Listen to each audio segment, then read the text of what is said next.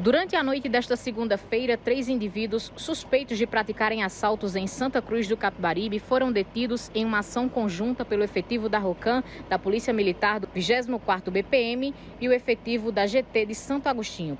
Para saber mais detalhes a respeito dessa situação, eu converso com o sargento Josenildo, que vai nos repassar informações. Sargento, boa noite.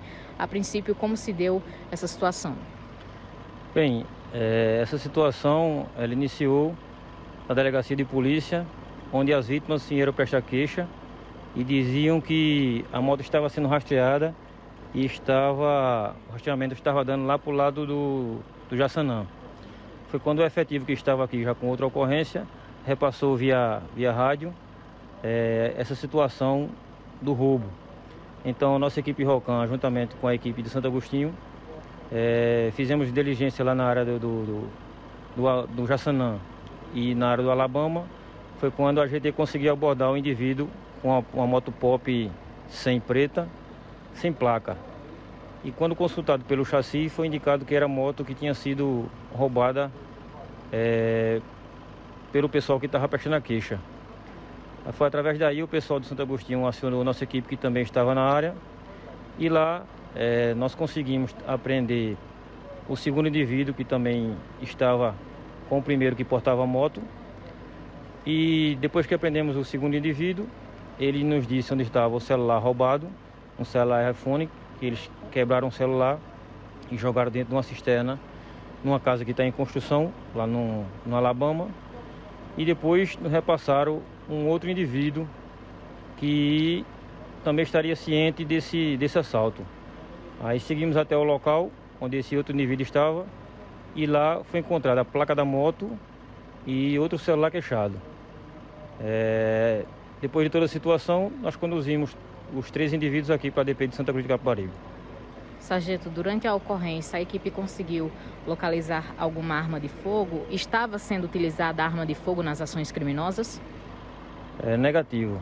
É, na, na conversa com eles, eles nos informaram que foi fizeram o assalto no panta, né? Colocando a mão por baixo do, da blusa e conseguiram efetuar o assalto. Foi dessa forma que fizeram essa situação. Não foi encontrado arma nenhuma. Os elementos possuem antecedentes criminais, já tem envolvimento aí com o mundo do crime? É, a informação que os dois indivíduos iniciais que foram pegos com motocicleta e que furtaram a motocicleta é que ainda não, ainda não, não tem um passagem não. Já o terceiro indivíduo que foi encontrado na residência, na residência dele, com a placa da moto roubada e o celular queixado, esse já estava com a tornozeleira eletrônica na, é, na perna. Esse sim já tem passagem já. Sargento, durante a ocorrência, é, foi possível obter informação se além de assaltos eles possuem envolvimento com tráfico de drogas, algo do tipo? É, em relação a isso, o que eles nos repassaram foi que esse terceiro indivíduo que está com a tornozeleira, ele tem uma dívida alta com o tráfico de droga e eles estavam procurando fazer esse tipo de, de assalto para tentar ajudar ele a pagar essa dívida que ele tem com o tráfico de droga. Que posteriormente foi na ocorrência aqui passada, onde o mesmo está usando a, tornozeleira. Ou seja, elemento aí já coleciona uma bronca né, com o mundo do tráfico e se não pagar, possivelmente pode acabar sendo executado aí. É verdade, né? É, sempre acontece dessa forma. Você entra nesse mundo do tráfico, mas ou você paga ou você morre. A equipe de reportagem parabeniza desde já o efetivo da Polícia Militar empenhada nessa situação, que recuperou o bem e, de certa forma, vai restituir a vítima aí que teve seu pertence subtraído. É verdade. Nossas equipes estão aí atuantes e sempre com o intuito de ajudar a população a nesse sentido, recuperar o seu bem. Sargento Josenildo, algo mais a acrescentar a respeito dessa ocorrência?